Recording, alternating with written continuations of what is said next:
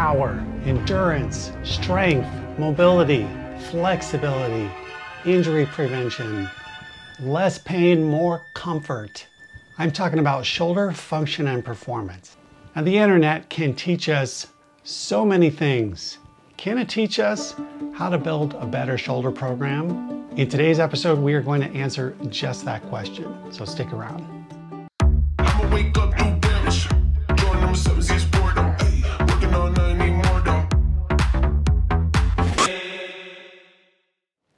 Welcome back everybody. In today's episode, we are going to see if a person without any particular scientific background or training going online to do a internet search can assemble an actual functional shoulder strength and or rehab program based on what's available out there. So many of my clients come in after having searched the internet for solutions to their problems and finding partial solutions. And they end up in my office and together we look at what they've learned, what they've discovered, what they've been doing already, and I basically fill in the gaps.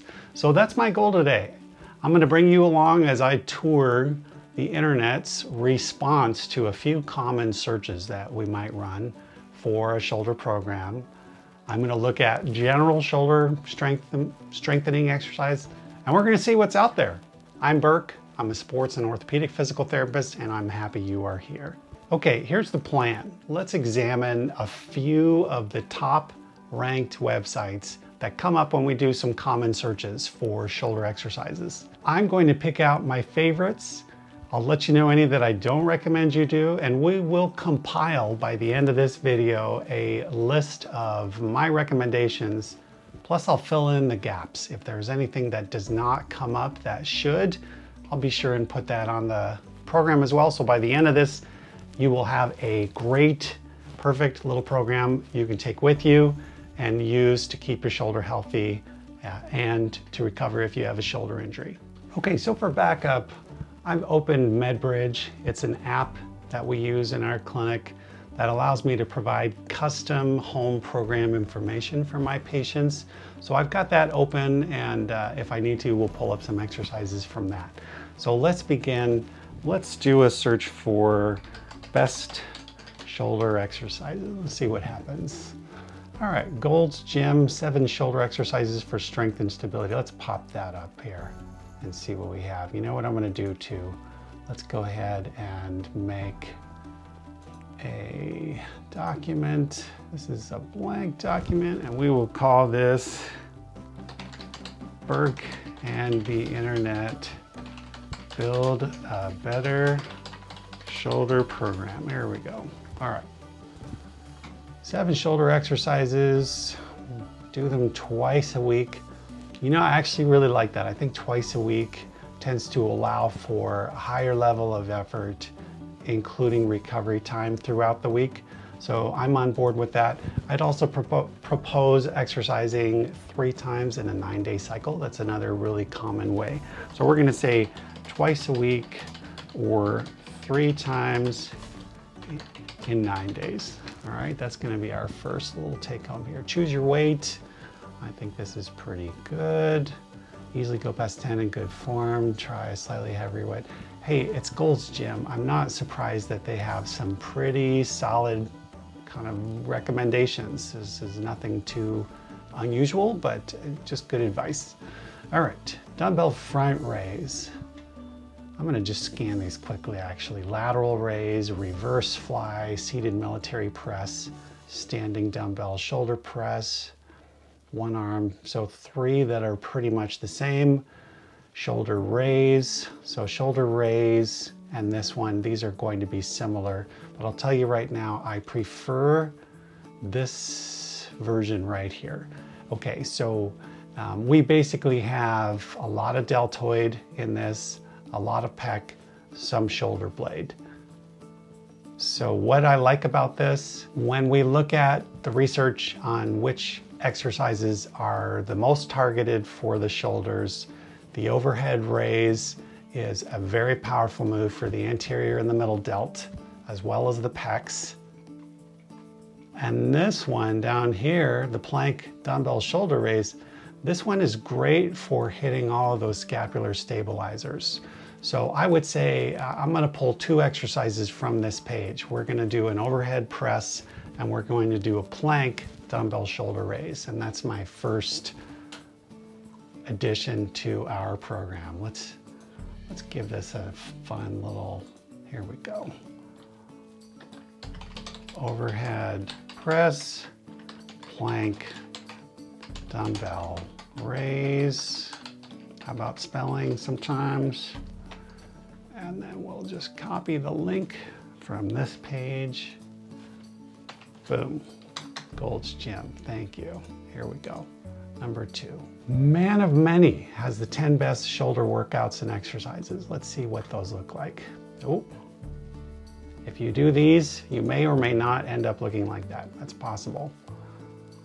Muscle overview, what are they? Extrinsic, intrinsic, interesting. Okay, diversion. The fingers of my hand, this is your rotator cuff. My hand itself, my wrist, my forearm, essentially this is going to be scapula, trunk, core, deep core. So what does your rotator cuff actually do? Well, it engages your humerus and keeps it centered more or less in your scapula in what's called the glenoid so that as you move, your muscles are constantly rebalancing for the right amount of tension. That's it in a nutshell. That's what the rotator cuff does. You can see if I lift any of my fingers off, if I really challenge myself here, if I pick any of these up, there's a good chance that this is gonna fall at this weight because now all of a sudden I'm underpowered for what I need to do to control this. This is exactly what happens with shoulder injuries to the rotator cuff. We lose that stability.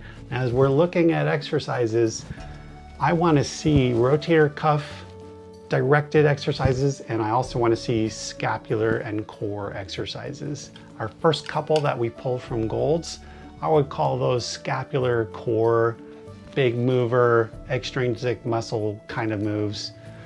And I have not yet seen the little intrinsics. So that's just an aside. I'm gonna keep looking for that. So here we go. 10 best shoulder workouts. Overhead shoulder press. We've already got that. We're covered. Seated dumbbell shoulder press. Again, we're covered. Front raise. I do like this one. This one is good. Let's put that on there. I think we want a front raise. Front raise. So the difference between the front raise and the overhead press and the plank dumbbell raise, the front raise is basically going to engage our pecs a little more just because of the length of this lever arm. That's the primary difference. Reverse pec deck fly. Now this is starting to get good. These back flies, we did see back flies, I think on Gold's, right? So bent over dumbbell lateral raise, back flies.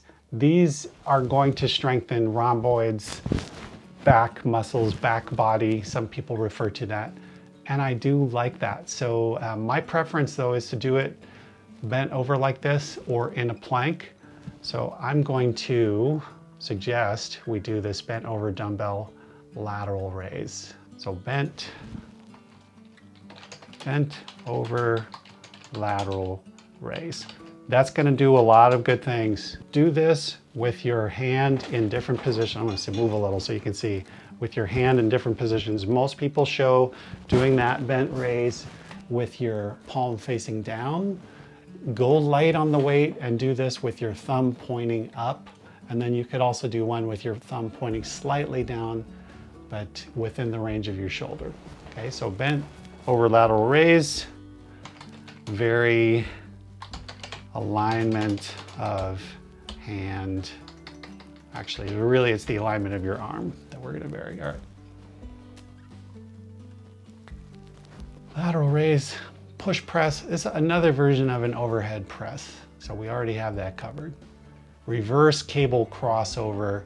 Uh, this is gonna be one of these where you're pulling the weight out to your side like that. So you're coming from up to down. This motion, when we come from high and across the body to down and behind, This is called a D1 PNF pattern and it's considered a diagonal pattern or movement pattern. And diagonal patterns are very, very effective at targeting those smaller stabilizers. So we're gonna want some kind of diagonal pattern in there.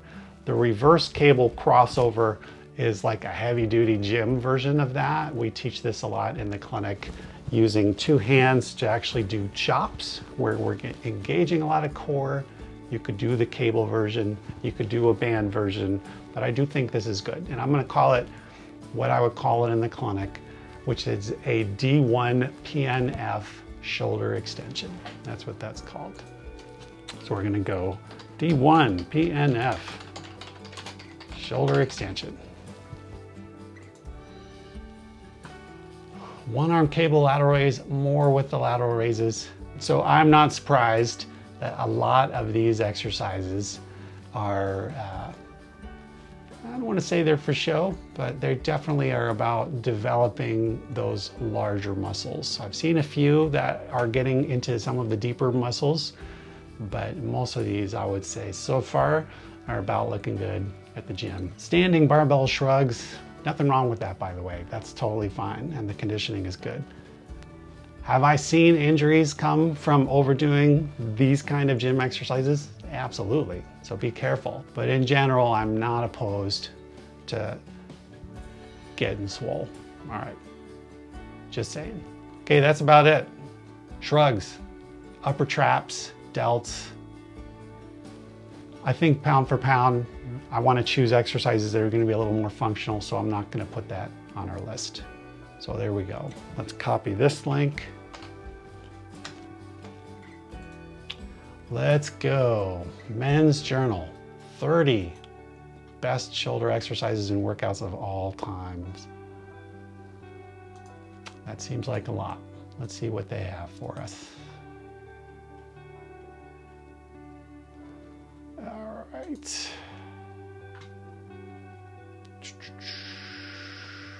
And they're just pictures.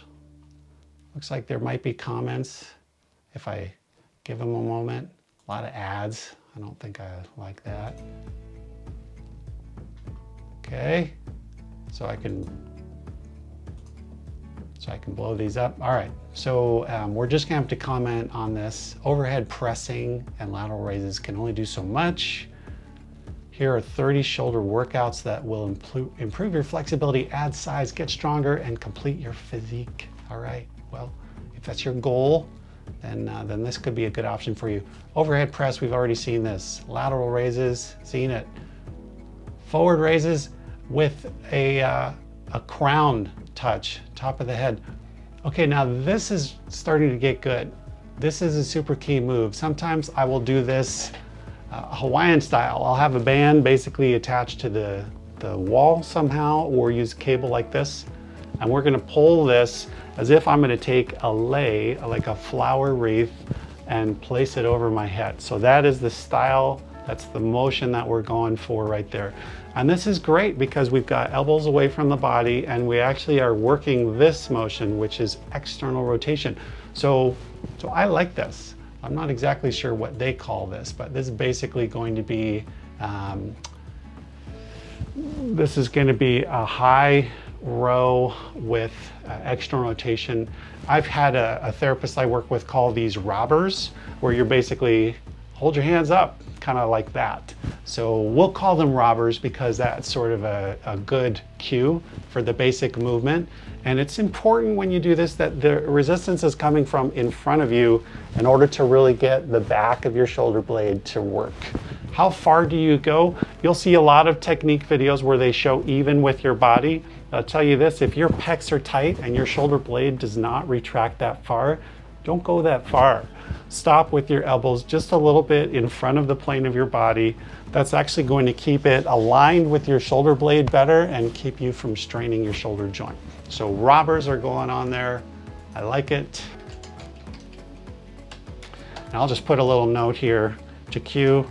This is um, high ER for external rotation. Do you spell lei? Lei, maybe L-E-I, something like that. I can look it up. Lei, and or robber style motion. Okay, here's another high row, kind of in the shrug family. I think relative, as far as the research goes, this does not pop up a lot, this particular exercise. So I can't really say if I like it or don't like it. I would say there's probably other exercises that might be a little more targeted. And this one, just because the wrists are down, unless you're moving through this po position to a catch or a snatch or some kind of an Olympic style lift, this isn't necessarily where I want to stop the motion. So if you've been doing rows like this, kind of these high, high rows, I would go ahead and work on the catch because that's going to take your shoulder out of an impingement zone. Here we go. These are basically, uh, I actually like this program a little bit more because they are working a little bit more on the rotators. This still won't be my favorite, but it's not, it's not bad. Okay, we've already seen something like this from the plank. This is another good way to do it. This is part of a family of exercises that in therapy we call scapular stability exercises.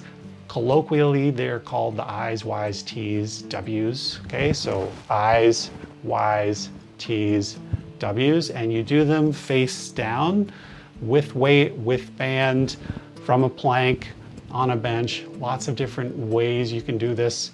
They are excellent. So I'm gonna put on here right now, scapular stability, face down, I's, Y's, T's, W's.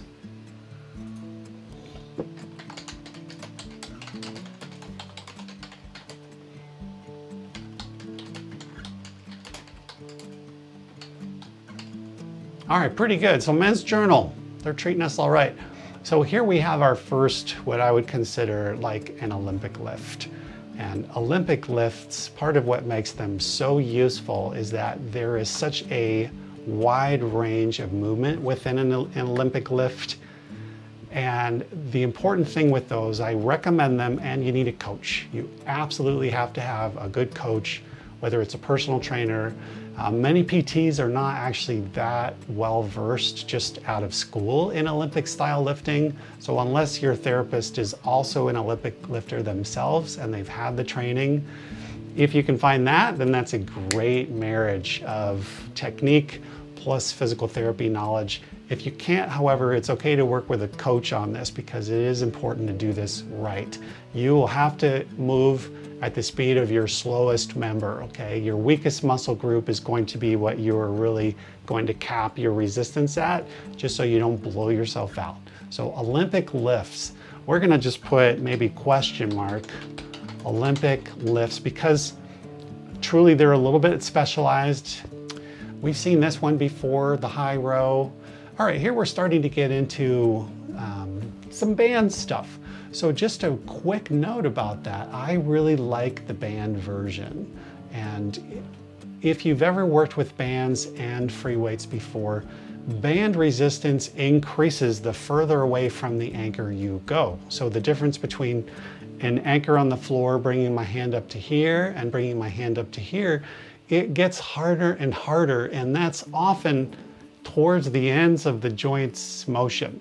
So sometimes the challenge with bands is that in the mid-range of movement, the band resistance might not be enough, honestly, because you're limiting it to get through the whole motion.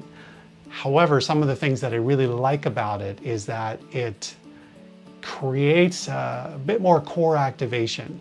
Um, and that's because as you get towards the end of that motion, um, you're increasing the resistance and that causes something called overflow in your core muscles. So your core muscles basically have to brace a little bit harder. Um, there are some interesting changes in compression in the joints and shear, and that's because the resistive force is not pulling with gravity always like a dumbbell or a barbell, but it's actually pulling away from the anchor. So wherever you put that anchor is going to change how your joint loads or shears or both. So I use bands a ton because I can move that anchor point to do really selective things. So it's a lateral raise. We've seen that many times so far, but with the bands, it feels a little bit different. And then the forward raise, this would be another good way to do our forward raise. So I'm gonna go in and edit our front raise slash forward raise. And we'll just say dumbbells, plate, and or bands. Those are all gonna be a-okay for that. Okay, same thing with our back fly. This we saw earlier. This could be with weight or bands, bent over lateral raise. Okay, this one's a little bit uh, similar to our high row robber corona for the head kind of a thing. So uh, we don't need to add anything to that one. Um, this is kind of cool, like a different variation of an overhead press from a pike. I do like this one. I would call this one a fun variation. I'm not gonna put it on the list. And then um, a row to, this is a scapular stabilizer. It's another variation of our I's, Y's, and T's, that kind of thing. I actually do like this one. Uh, I'm not gonna put it though because uh, I don't want the program to get too long and there are still a few missing pieces. Okay, so same thing. So if this is the Y, can you see the Y there? This is gonna be the T. And these are kind of like, they look like bear walks to me. This is dips. Those are good for the triceps, press ups. I do like press ups, but you know, some people have tightness in their wrists and press ups don't work. So if we're gonna do this kind of motion, I like to do it either upright like this pushing with band resistance, or if you have a gym using a selectorized machine, or I like to do it face up using dumbbells or a bar. So we'll go ahead and add that one in. This is basically gonna be a chest press, dumbbells, bands, barbells, etc. Upright or face up, also known as supine. Overhead press, we've seen this one is kind of a cool variation. This one is a compound motion. We're coming up like this, we're coming out into this position, and then we're extending from here. We've baked these into enough of these other moves that we don't need this version, although these versions do add variety. They make it a little more interesting. And so uh, there's really nothing wrong with these. I'm just not gonna put them in this core program. I actually like that one. Um, we've seen this. This is almost looks like a little bit of a deadlift. Let me see what happens if I pull this, make this a little bigger. This is a little bit of a ballistic style move. So we'll fit that into the Olympic category, Olympic slash ballistic movements. So I'm not gonna put that on one of our foundational moves. This is a deadlift, okay? This is what a good deadlift looks like. We're starting with the weight low and we're standing up essentially glutes, hamstrings, quads, back, shoulders, everything. Yes, yes, yes, must have a deadlift. Deadlift, and I like the picture of that because his form was really good. What do we have here? Okay, so this is sometimes called a farmer's carry. Essentially, you're walking while you're holding weight.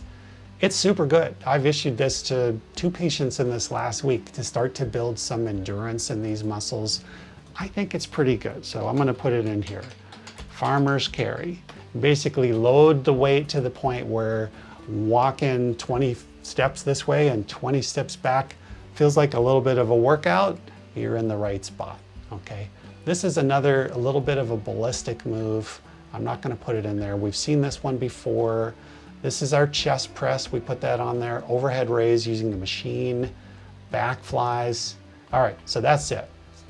So I'm gonna say we got actually some pretty good programming from uh, Men's Journal. That's six from the Men's Journal right there. So that's actually a pretty good one. I could do this all day clearly. So at this point, let's take a quick scan. I'm going to identify any that I think are missing and we're going to add those in. And then that's gonna be good for this session. So let's go back, take a look. So what do we wanna add to this here? Okay, here's the thing about physical therapy exercises is they're not often that sexy. So we're looking at small stabilizing muscles, muscles that help you control and coordinate all the different joints that make up your shoulder. We've got the big movers. This collection right here, I think it's pretty good. Let's look through it. We have chest, we have delt, we have back.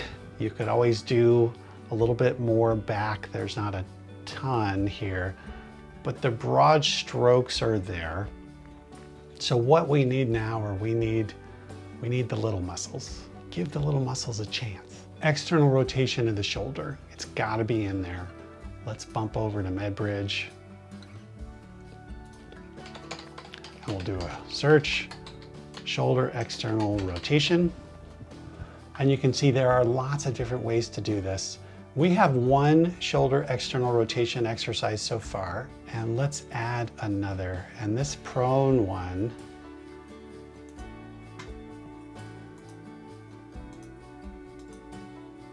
this one is pretty good. I do like this one.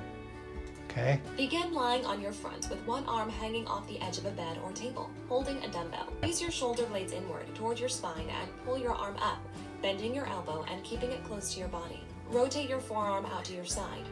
Reverse the movement and repeat. So that one's going on there. I'm just gonna put twice a week on this one, three sets of 10. We'll add that. Here's our program right here. I think we need something that's going to be a little bit higher level as well. Let's see what we can find. See, these are rehab exercises, so a lot of these are going to be quite a bit easier than the other set of exercises where we're really moving a lot of weight. This one right here is a bit of a classic and it actually is very effective and targeted. It's shoulder external rotation using a dumbbell laying on your side. So we're gonna put that one in there, okay? Internal rotation, that's the opposite motion. If this is external, internal is pulling from outside in, and that needs to be on here as well. This is the one that I'm gonna choose. Okay, it's standing, so there's a little bit more stabilizing involved twice a week a little internal rotation. Let's go ahead and add to our scapular program. see if I do a search. All right, here we go.